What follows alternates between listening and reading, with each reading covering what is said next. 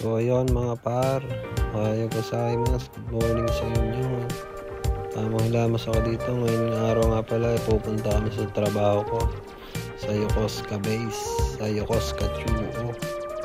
Mag-extend ako ng gate pass ko sa trabaho para diretso pasok sa Monday.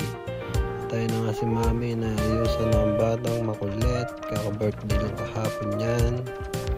Yan na sila, nakabihis na agad. Ready ready na. Dahil aalis kami. Hintay na lang si mami. Napakatagal mag-makeup. Nakagayak pa kami lahat. Nag-makeup ka pa rin. Yan, habang naghihintay nga ng makeup kay mami, pinaayos ko muna yung sintas niya kasi ang gulo-gulo ng sintas ng sapatos ni mami kaya inaayos natin pinapaganda natin may konting lawit-lawit para naman maangas tignan hirap ayusin yung sintas ng Jordan kasi sobrang haba niya. Kailangan mo talagang gawa ng paraan. Kaya sinuot ko na kay mami yung sapatos niya para kami makaalis na kasi napakatagal na nag-makeup. At ayan na nga lumabas na ang mga batang makulit. Paalis na kami papunta na kami sa station ng bus magbabas muna kami dahil punta kami sa train station yan. Na naglalakad na si Sauri yan sila mami na sa likod tsaka si Sheichi Asher. Naghihintay na ang dalawang bata si mami oh. tayon nandito na kami sa station yan. Bumili pa sila ng mga chichirya ng candy para naman mayroon silang kakainin sa biyahe kasi mahaba ang biyahe namin almost 2 hours nga pala yung papunta doon. Tayan pasakay na kami ng train yan paakit na? Ayun na si Sechi. Ang ganda ng forma. So 15 minutes nga pala yung biyahe namin yan papuntang Yokohama. Pagdating ng Yokohama lilipat pa kami ng ano niya ng isang train pa papuntang KQ line yun naman is papuntang Yokosuka Chuo doon sa malapit sa trabaho ko. Tayo na si ate sorry kumakain ng candy ayan pa si Sechi ang batang makulit kumakain na naman ng chocolate. Hindi pa nga nakakapunta sa pupuntahan ang dami-dami na. Batang talaga to mahilig sa mga candy at tayo na ang train. Papuntang Yokohama yan. Ang daming sakay. Hindi kami nakaupo. Sa ate Saori lang. Daming tao. At tayo na nga. Nandito na kami sa KQ line. Papuntang Yokosuka Chuo yan mga boss.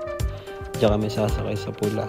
Yung 11.32 rapid kasi yan. Mabilis lang. Konti lang yung hinihintuan niya. Tayo nandito na kami sa Yokosuka Chuo sa base sa Koska. Yung Koska na yung Koska nga pala na yan is mall nga pala yan guys. Ayan o.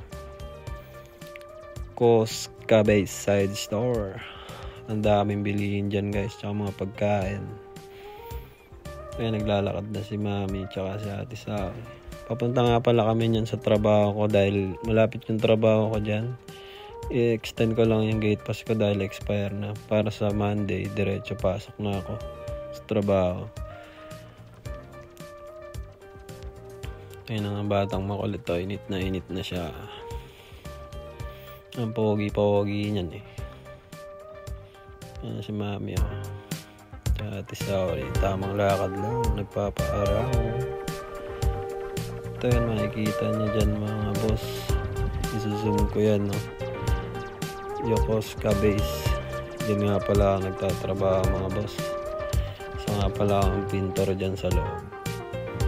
Migaki. Nagsasander sa loob. At tignan nyo naman yung batang makulit na to. Nakupo pa doon akala mo batang yagit sa Japan. Ayan may nakita kami nito sa Yokosuka base side mga boss. Hindi ko alam kung ano tawag dyan eh may palaka pa dyan sa loob gaalaga din pala sila ng palaka Yeah. dito tayo nagutom na nga kami mga boss dahil tagal ko inintay yung bossing ko dyan dahil in-extend ko yung gate ko sa trabaho Tayo naghahanap na kami ng mga kakain. Hilong-hilo na kami dyan kasi sobrang laki ng mall na yan. Yung food court hindi namin makita. Hilong-hilo na kami paikot-ikot. Gutom na gutom na si mami. Tsaka ito si Kuya Sechi gutom na rin. Ayan, naglilibot-libot na kami.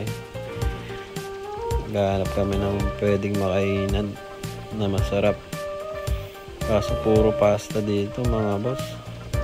Halos lahat ng pagkain, mga pasta-pasta eh. Umay na umay na kami sa pasta. Kahapon kakapasta lang namin dahil birthday ng anak ko. 2 years old niya kahapon nagluto ko sa bahay ng spaghetti. Ayan, tingnan niyo naman puro pasta. At ito nga pala yung napili namin kainan dyan mga boss. Yung Indian curry. Yung Indo curry kasi masarap. Uh, natripa namin yung lasa niyan. Banding kami lagi. Favorite namin yan. Pamilya. Lagi yan yung kinakain namin. So tuwing lumalabas kami. Ayan. Indian curry siya na may kasama ng tinapay. Yung nan. Tapos may cheese nan. May kasama na rin juice yan. Set. Yung sa akin yung may kanin. Tapos may dalawang flavor ng curry. Tapos maanghang din yung sa akin. Gusto kasi lagi yung maanghang dyan. Pag curry ng ano, Indo. Ang gustong gusto nila yan. Dahil may cheese sa loob. Tapos parang tinapay lang siya. Ayun ako si mami. Ang sarap ng nan nila dito mga boss. Creamy creamy. Tayin nyo sa akin mga boss. Cheese nan. Ayun yung cheese nan mga boss. Yung may parang tinapay siya na punong-puno ng cheese sa loob. Tapos sasawsaw mo sa curry na anghang. Pag uubos ng kanin ko, kumain pa ako ng cheese nan kasi ang sarap ng curry talaga ng Indo. Trip na trip namin yung lasang pamilya kami. Kaya nagkakasundo kami dyan pagka Indian curry. Gusto talaga namin yan. Lahat kami nakakakain. Kahit yung mga bata. Lalo-lalo na yung bonso namin. No? Paborito niya talaga yung cheese nan. Ito ka naman yung may kanin. Murder din ako ng may kanin. Tapos manghang na curry. Sarap yan mga boss. Yun lang. Ito, naglibot-libot muna kami sa labas. Hindi ko alam yung tawag dyan, pero pag inulugan mo ng 100 dyan, magagamit mo yung telescope niya. Sobrang nasa-zoom siya. Kita mo yung barkuhan. Yan, bumili pa si mami ng milk tea. Paborito niya kasi ang milk tea.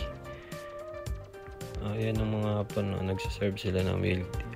Mabilis sila mag-serve. Pagkabayad mo sa cashier, pupunta ka lang sa likod agad. At ayan na agad. Na-serve na agad sa'yo. Paborito nga pala ni mami yan. Lagi siya nag-order ng ganyan pagka yung lalabas kami. Tigisa kami palagi. Milk choco yung flavor niya. Ayun. Naglibot-libot kami dyan sa labas. Yung nakikita niyong barko na yan mga boss, dyan ako nagtatrabaho. Yung barko na yan, ng mga Navy, ng mga Amerikano. Diyan kami nagpipintura sa loob niyan. Nagsasander, nagmimigaki. Ayan, ganun lang yung trabaho dyan. At tayo na nga, naglaro na ang mga bata. Itong bata natutuwan-tuwa kasi paborito niya talaga yung mga train-train dito sa Japan. Mga Thomas, mga Densha, Shinkansen na palaruan. No? Tingnan mo naman solo siya. At may naging tropa pa nga na Amerikano. Pagsakay niya dun sa may Thomas, may nakasakay din kasi na Amerikano. So nilibre na lang namin yung Amerikano dahil gustong gusto niya nang sumakay ayaw pa rin bumaba nung batang Amerikano na yan. Kaya ang ginawa na lang namin, pinasakay ko siya sa harap tapos sinulugan ko na lang. Tapos nilibre na lang namin yung Amerikano. Tatlong beses nga pala namin pinaikot yan kasi yung bata niya si Seichi, yung anak ko. Ayaw niya ng ano lang, ng saglit lang. Kada ihinto yung Thomas, gusto niya hulugan agad ng. Kaya tatlong beses namin pinaikot yun. At ayan na lumipat na naman siya sa Ampaman. Kaya na naman, umiikot na naman yan. Mahilig talaga sa ganyan yan. Kada laro mo, may mga, may mga ticket ka makukuha. may mga price din ng mga pagkain dito naman yung parang may mga bola bola bola nung bumabagsak sa taas. Tingnan nyo mga boss. Babagsakan si CJ niyan. Umiilag siya uh, takot na takot eh. Bola kala mo badeng puta tinamaan sa mukha. Ilag na ilag eh. Ilag na ilag siya dyan mga boss. Tapos yun i-shoot yan sa loob. Sabay babagsak na naman sa kanya. Takot na takot talaga yung bata na nakakatawa oh, tinamaan naman siya may ilag may ilag ito yung mata laptop talaga yan si Seiji kaka 3 years old nga lang pala niyang kahapon mga boss pero akala mo binata ng pogi-pogi sa buhok niya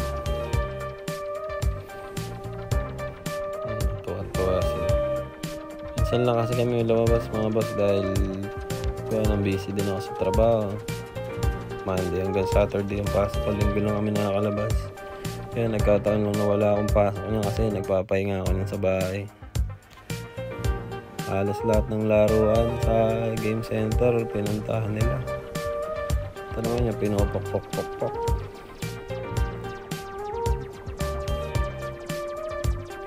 pok-pok-pok na ampaman. tapos may kalaban popok-pokin yung kalaban. Paborito nila yan. Tayo na mga boss mga pagod. Uwi na yan mga boss. Pagod na pagod ang mga bata maghapon sa galaan. Pauwi na yan mga boss. Salamat sa mga nanood. Hanggang dito na lang mga boss. Paalam